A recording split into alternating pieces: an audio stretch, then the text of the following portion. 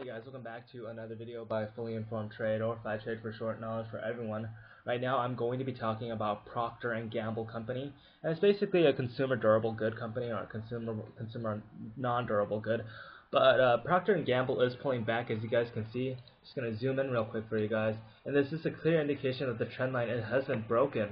And uh, this is not a very positive indication of the chart itself because again, you know, this is a three-year chart. This is a three-year trend line. The longer the duration of the trend line and the pullback on it, it could be indicative of even future declines. So be very careful when trading, trading this market. On the upside, the, the major decline was done on an extremely high volume. So it could just be a long tail. It could just be a long tail like this before it eventually reverts back above the trend line. But again, I would really be cautious trading the stock.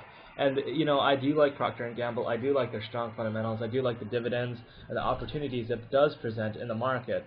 But it could be a little risky trying to buy it down here because the trend could sustain itself for many, many months if it does if it does actually confirm below this trend line. So we want to watch the following trading session.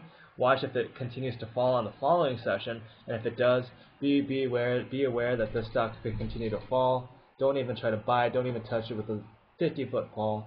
just don't touch Procter & Gamble. This is a risky bet. Just wait for the stock to eventually either roll over and decline even further, or wait for it to recover some of its losses, and then you could probably pile on back into Procter & Gamble. So take care, folks. You guys have a wonderful trading session, and we'll talk soon uh, again, uh, perhaps tomorrow as well.